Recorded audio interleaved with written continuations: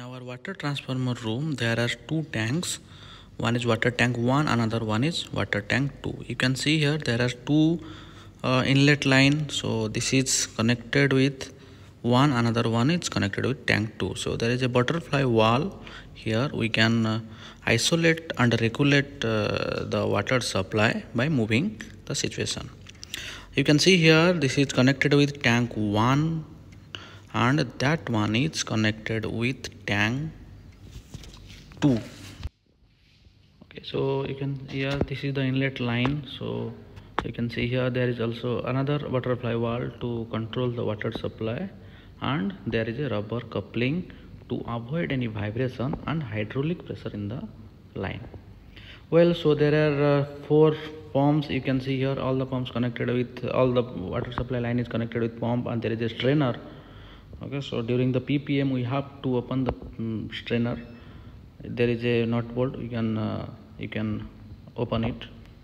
Okay so there are one two three four five pumps are there. So three will be running continually continuously and two will be in standby mode. That means uh, at a time five pumps will not work. Okay so three pump will be work and another two will be in standby. You can see here this is the inlet line this is our pump. Downside is the pump and top one is the motor. This is the outlet line. You can see here there are also five outlets connected in a single pipe. And there is a transducer pressure switch to monitor the water pressure. We can uh, monitor the water pressure by the BMS room. This is the pressure switch. We can monitor the water pressure. You can see here there is a cable connected with the junction box which is connected with our BMS that means building management system to monitor the water supply. Well so now we will go ahead. This is the the pipe is connected with you can see here with the UV filter that means ultraviolet filter. Yeah this is the UV filter. UV means ultraviolet uh, filter which is connected parallelly with our line. So there is a panel to control the UV filter you can see here and also there is uh, you can see this is the outlet line from the UV filter. As well as there are two lines you can see here. One is directly connected to outlet of the pump. Another one is connected by via uv filters.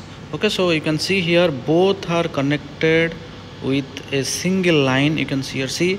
So there are two line connected with one line and there is one outlet is supplying water to the okay so this is the single line. See you can see here there are two line connected with a single line. So that means if in if there is any fault in the uv filter line then we can bypass it. In case our uv filter will not work then we can bypass it. So you can see here this is the pv tank pressure vessel tank we have installed in the pump.